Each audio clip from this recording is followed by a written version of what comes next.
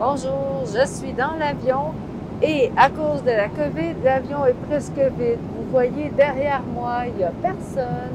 À côté de moi, il n'y a personne. Toute la rangée est vide. Il y a 10 bancs et je suis le seul, euh, la seule occupante. Et en avant, vous voyez, il n'y a presque personne. Donc, certainement que les avions roulent à perte. Euh, mais bon, ils n'ont pas le choix de faire des voyages s'ils veulent garder leur place. Donc, vous voyez, je pars de Montréal et je m'en vais à Francfort en Allemagne et ensuite, je vais aller à Sofia en Bulgarie. Et à cause de la COVID, il y a beaucoup de mesures spéciales.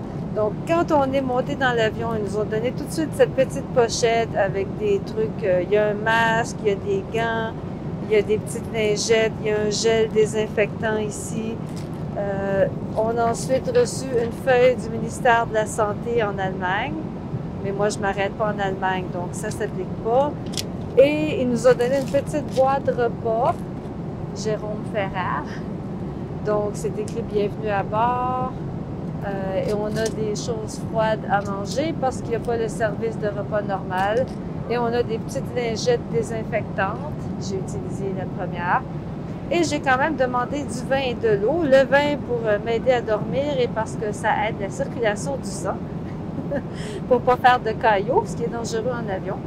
Et l'eau pour m'hydrater. Et j'ai d'autres bouteilles d'eau ici. Moi, je bois... On ne les voit pas. Je bois beaucoup d'eau en voyage. On a aussi une autre bouteille d'Air Canada.